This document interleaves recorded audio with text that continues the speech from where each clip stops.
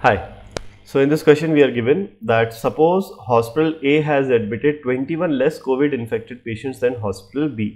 So we are talking about two hospitals A and B. The number of patients in A is 21 less than that in B.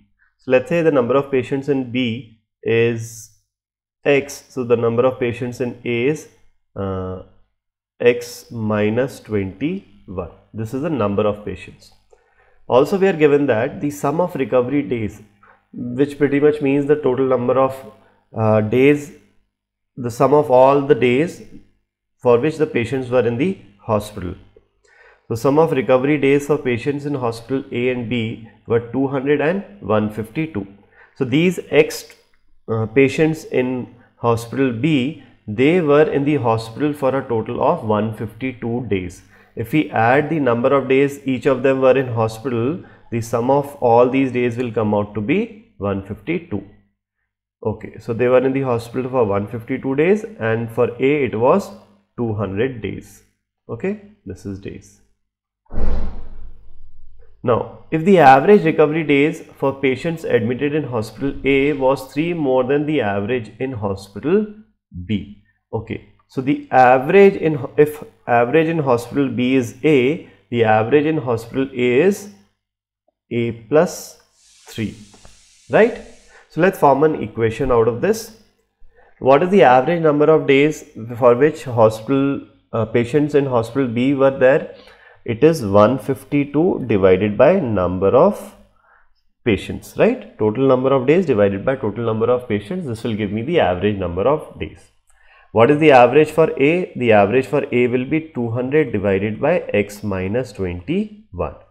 And we know average in A is 3 more than average in B. So this average is 3 more than the average in B. So this is going to be the equation, right? So now we have to pretty much solve this equation and figure out the answer. So 3 is equal to 200 upon x minus 21 minus 152 upon x. Okay? So let's form an equation out of it. Or let's take the LCM of the right hand side first. So this is 200x minus uh, 152x and 152 21 so this will become minus 152 into minus 21 so plus 152 into 21 right? Okay. So from here what uh, I can see is the calculation is going to become slightly tedious because this is going to give me a quadratic right? Denominator will be x minus 21 into x. So to make calculation slightly easier the calculation is going to become tedious because of 152 into 21 so what I can do here is instead of assuming this as x I'll assume this as x and this as x minus 20 or x plus 21 there are 21 less patients in hospital A. So this will become x plus 21 and this becomes simply x. This becomes simply x and this becomes x plus 21 okay? So now let's see what happens So I'll have 200 into x plus 21. So this is going to be 200x plus 21 into 200 is 4200 minus 152x divided by x into x plus 21. Now the coefficients will be slightly better to handle.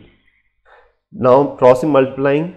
So we have 3 into x into x 3x square plus 3 into x into 21. So plus 63x is equal to 200x minus 152 is 48x plus 4200. Bringing all the terms on the left hand side, I have 3x square 63 minus 48. Uh, this is going to be 15x minus 4200 is equal to 0. Dividing the whole equation by 3, I have x square plus 5x minus 1400 is equal to 0 and this is a quadratic. If we factorize this quadratic the value of x comes out to be sorry uh, how can we factorize? We can write 35x as 40x minus 35x right? This is how we can write x.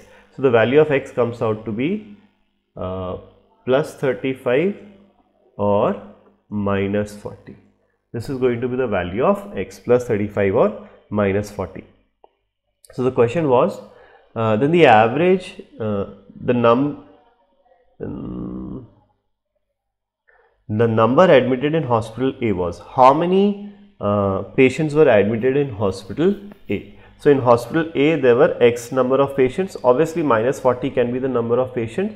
So, the number of patients admitted in hospital A is 35. So, the answer to this question is 35 here. Okay. So, that is it for this question. Thank you.